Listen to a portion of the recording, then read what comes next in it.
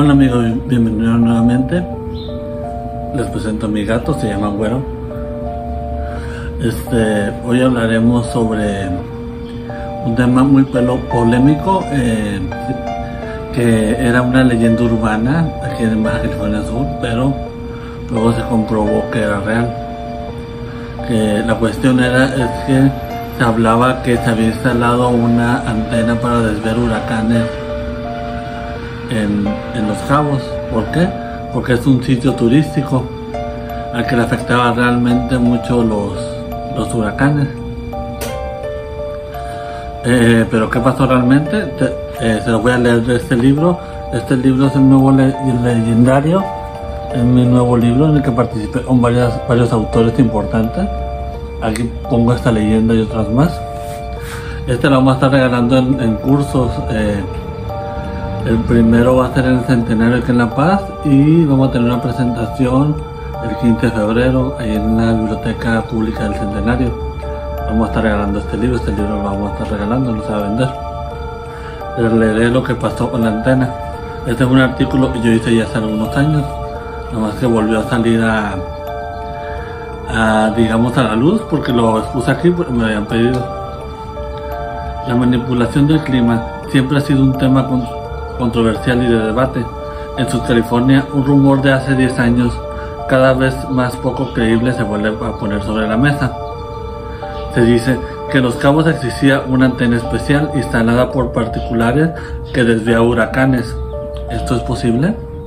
En realidad, la instalación de una antena ionizadora sí sucedió en el Instituto Tecnológico de Estudios Superiores de San José del Cabo en el año 2004 durante los años que estuvo en funcionamiento, los huracanes presentaron un movimiento muy extraño, desviándose al acercarse a la entidad.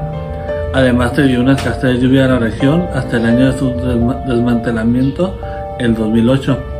Esto es verdad, digo, yo viví aquí y no solo afectaba a los cabos, afectaba a todo Baja California Sur eh, y a La Paz también, que estamos muy cerca. De hecho, era muy este, o venían los huracanes directo y de repente agarraban una, una desviación. La instalación de la antena se realizó con fines de estudio de la manipulación climática para evitar que el centro turístico se viera afectado por los huracanes. Sin embargo, los agricultores de la zona culparon la antena de la sequía y muchos ciudadanos temían que pudiera ocasionar daños a las personas por alguna emanación extraña de energía o radiación. Por esta razón, el director municipal de protección civil decidió derribar la antena y se inició una investigación para localizar los responsables de su instalación. El profesor Francisco Cota señaló que se realizaría una investigación exhaustiva para localizar otras antenas que se encuentren ubicadas dentro del territorio municipal. O sea, se, se intentaba ver si había más antenas. Yo sospecho que probablemente sí lo haya porque luego los huracanes tienen un movimiento muy extraño.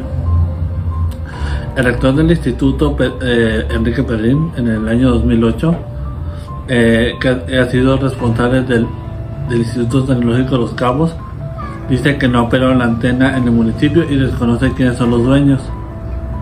Agregó que la intención de desmantelar la antena ionizadora es para no dejar dudas en la ciudadanía y para que el instituto deje de ser objeto de cargas de responsabilidad por los daños que puede ocasionar, dicho aparato.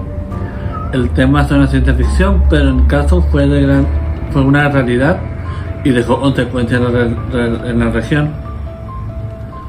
Es importante que sigan realizando investigaciones exhaustivas sobre este tipo de temas para evitar derivaciones negativas en la población.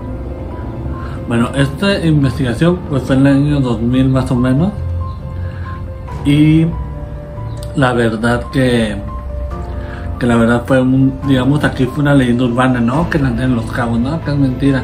Pero ahí están las fotos, eh, eh, ahí están la, ahí están las este pues, documentos oficiales. O sea, la antena estuvo y se mandó a quitar. No sabemos si sigue existiendo. Hoy en día sabemos que la manipulación del clima es algo posible. Eh, realmente este, pues te podemos hacer llover, podemos algún otro tipo de cosas. No de una manera muy, digamos, efectiva la cuestión de la lluvia. La verdad desconozco qué tan efectiva es una antena ionizadora, pero como habitantes de este estado les digo que, que sí fue demasiada coincidencia que durante la instalación de esa antena sí sufrimos mucha sequía. Bueno, esta y más historia van a estar en este libro.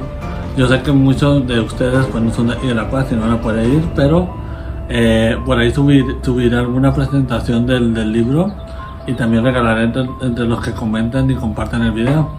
Ya les dije, este libro pues fue hecho por el gobierno del estado y este pues es para regalar, es para que se difunda. Bueno pues muchas gracias y yo y el Michi nos despedimos. Adiós. Tú, págale. La paga más. Adiós.